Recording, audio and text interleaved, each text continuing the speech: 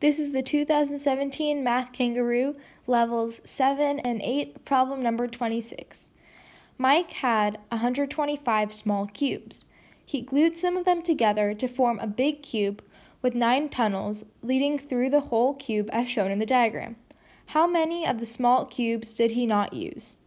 A. 52, B. 45, C. 42, D. 39, or E. 36?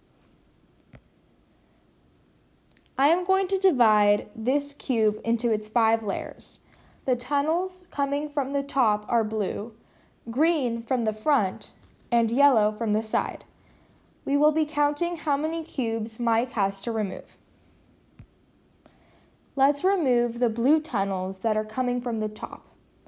These three blue tunnels will remove three cubes from each layer. Now we will remove the green tunnels coming from the front. These tunnels will not impact the first and fifth layers. However, an entire row of cubes will be removed on layers 2, 3, and 4. Now we will remove the yellow tunnels coming from the side. Again, these tunnels will not impact the first and fifth layers, and an entire row of cubes will remove on layers 2, 3, and 4. Now we were at our final step,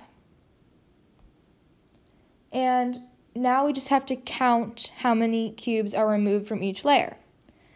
So we have 3 cubes removed from the first layer, 11 cubes removed from the second layer, 11 cubes removed from the third, and 11 from the fourth, and 3 from the fifth layer. So in total, if we add up 3, 11, 11, 11, and 3, we will get a total of 39 cubes removed, which is answer choice D.